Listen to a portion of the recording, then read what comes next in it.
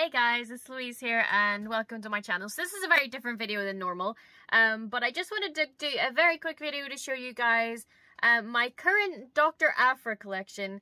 Um, so spoilers for um, recent Star Wars uh, content for Book of Boba Fett. So obviously now that we've seen Black Krrsantan, um, I wanted to show you guys just how much I love Dr. Aphra and uh, the sort of collection that I have gathered over the course of the last couple of years. It's been very difficult because obviously she doesn't really have much content. Uh, there's not much merch for her. But I just wanted to show you guys what I have so far anyway. So let's let's have a look. Okay, so here is my Dr. Aphra shelf in all its glory. I will do close-ups in a second. Um, but yeah, it's not much because obviously we don't have a lot of Dr. Aphra merch, but I have tried to get as much as I possibly can and I will show you guys some of it right now. Okay, so first part of my collection, obviously here we have my comic books. I don't have every single one. Um, I've tried to collect the volumes, but I kind of stopped after a while.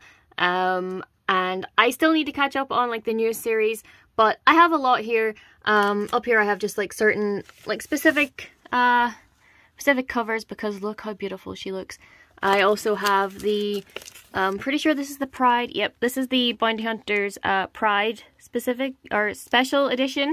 Um, and of course I had to get that because, you know, she's, she looks wonderful and we support our uh, space lesbian. Um, so here you can see we have the Vader Down comic and when we open it up, look who we have. It's Black Krrsantan versus Chewbacca.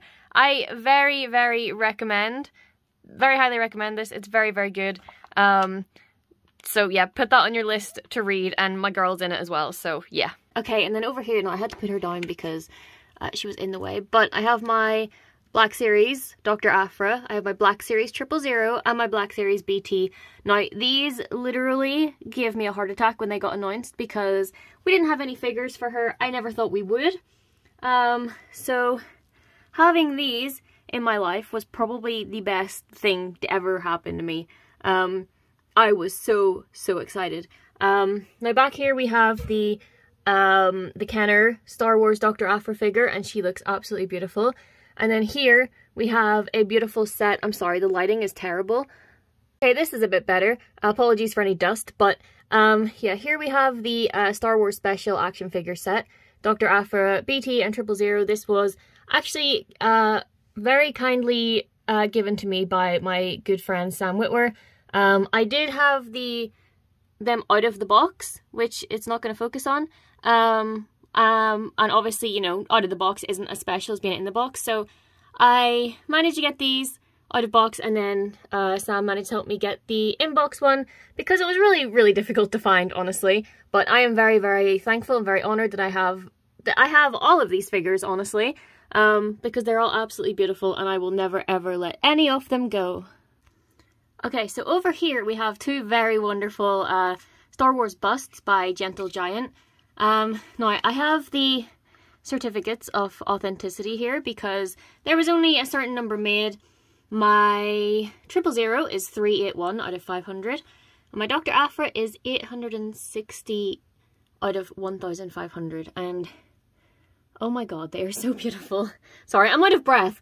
Um, so yeah, I have these little authenticity cards. Um, so I'm very, very glad that these are a thing. Um, yeah.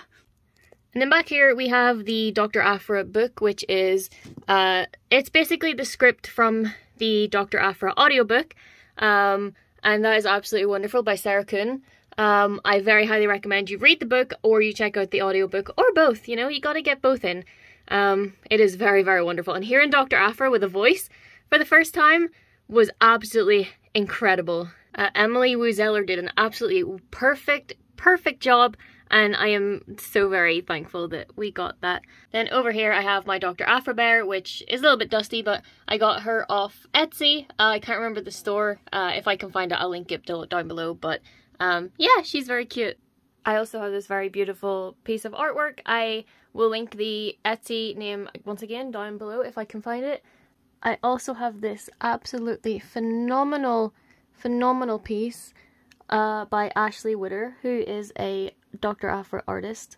Um, I was so stunned to be able to buy this piece. Um, and it's just beautiful. I did have it in a frame, but my stupid ass dropped it pretty recently while I was actually putting up my shelves. I dropped it pretty recently and the glass on the frame smashed, so I need to get a new frame. But the, the art is okay, it's fine, it's safe, and that's all that matters. Thank you guys for watching. I hope you liked my collection. Um, and I hope to have many, many more in the future. I'm hoping for a Black Krrsantan figure, maybe a couple of them, you know, just just a couple. Um, so yeah, peace. May the force be with you.